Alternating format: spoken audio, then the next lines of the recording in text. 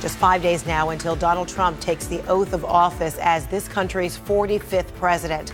But a growing number of Democrats in Congress will not be there. Four more Democratic House members are joining the boycott of the president elect's inauguration.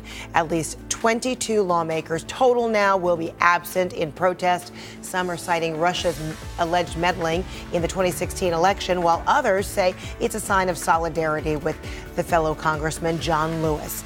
Trump ridiculed the civil rights icon for being, quote, all talk and no action after Lewis said he did not consider Trump's presidency legitimate. This as inauguration preparations are moving full speed ahead in D.C. This morning, a dress rehearsal of the swearing in ceremony using stand ins for President elect Trump, his wife Melania, and Vice President elect Mike Pence.